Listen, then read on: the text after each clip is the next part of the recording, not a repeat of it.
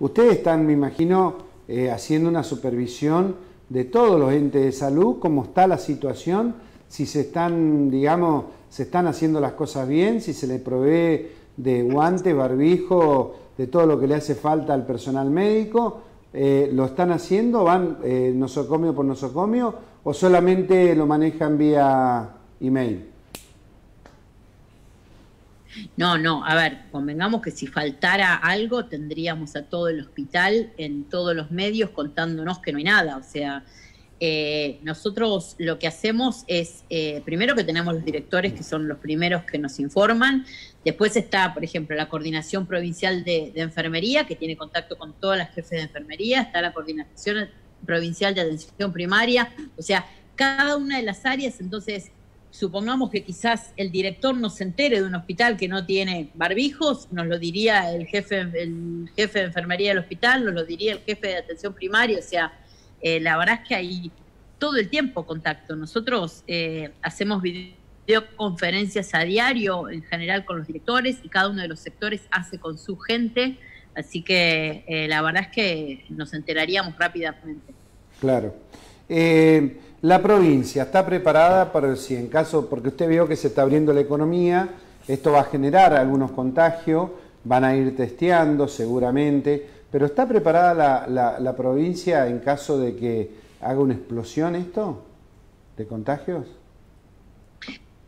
Eh, todo depende de cuál sea esa explosión de casos. Por eso yo lo que les pido a todos es que más allá de que se empiece a abrir, eh, porque por supuesto que hay mucha gente que lo necesita, que tengamos la, la, responsabilidad, no que nos quedemos en casa porque nos obligan a quedarnos, eh, sino porque somos responsables para hacerlo. Entonces, por supuesto que si tengo que ir a comprar algo porque lo necesito, voy a ir.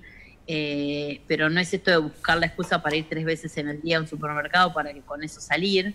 Eh, y si tengo que salir porque no me queda otra, tener la, precaución de tomar los dos metros de distancia, de usar un tapaboca, de no tocarme la cara mientras no llego a casa y me la pude lavar. Eh, las manos y lavarme las manos en cuanto llego y, tomar todas esas precauciones para que, porque la verdad es que la provincia, como venimos ahora, que de a poco van apareciendo casos, no lo colapsamos, no colapsamos los sistemas de salud. Entonces, mientras pueda ser así, es buenísimo, siempre vamos a tener para dar respuesta. Bien. Eh, ¿Tienen los test? Eh, ¿Tienen suficiente test de control? pues sé que cuestan mucho dinero y que además eh, son escasos, ¿no? ¿Cómo está la provincia? Por ahora eh, hay test, eh, nosotros usamos no el test rápido, porque el test rápido, más allá de que todavía no entró al país, sirve más para un tema epidemiológico de control, pero no como diagnóstico, como es la PCR, que es lo que hoy se hace. Eh, y la PCR, para eso tenemos reactivos aún, eh, nos van llegando desde Nación y hemos comprado, por ejemplo, todos los que están en Bariloche porque los compramos, eh, se han comprado más, o sea que por ahora hay, esto es como el virus, que es el día a día, pero por ahora estamos bien con los reactivos y bien con los hisopos y bien con lo que necesitamos. Bien. ¿Cuándo llegan los respiradores a Bariloche? Porque se dijo que si va, Nación iba a ayudar con respiradores.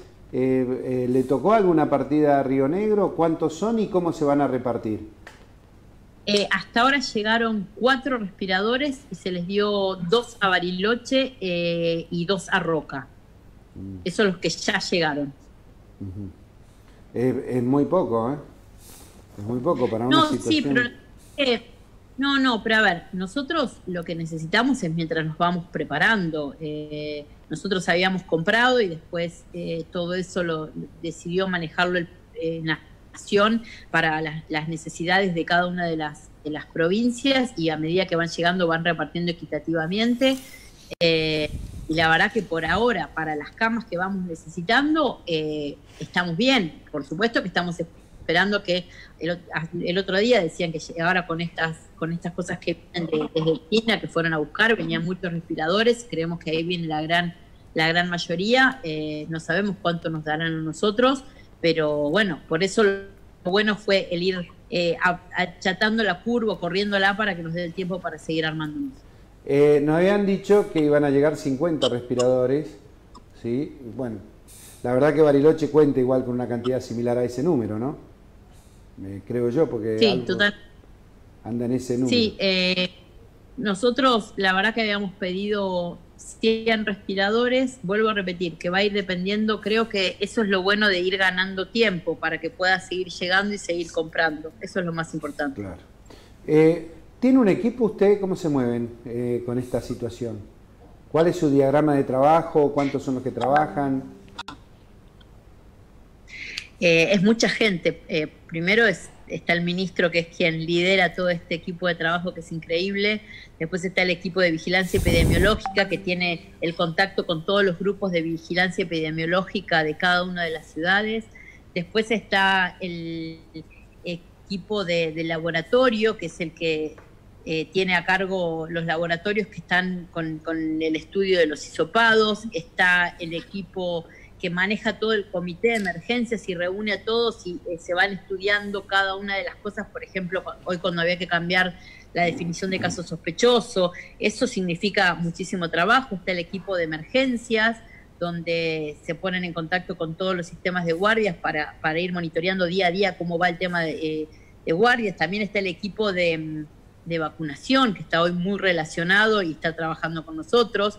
Ahora se suma también el equipo de sangre segura, porque vamos a tratar de empezar a trabajar, formar parte de todo esto del estudio del plasma de los pacientes ya contagiados para, para el tratamiento. Está el equipo, bueno, después está todo el equipo económico para todas las compras de, las, de la provincia, que es tremendo, porque a veces es tratar de llegar eh, temprano a comprar cuando sigue habiendo insumos, entonces eso eh, y la gente que maneja todo el tema ese, más allá de las compras, de los pedidos, de a quién, cómo, qué características.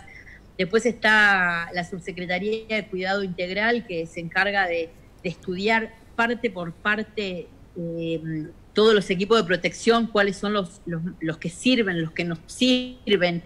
Eh, quizás me olvido, pero la verdad es que, y después por supuesto cada director hospital con su equipo, que es con el que son los que están ahí en, el, en, la batalla, en, en la cancha. Eh, nosotros estamos desde atrás tratando de que no le falte nada para salir.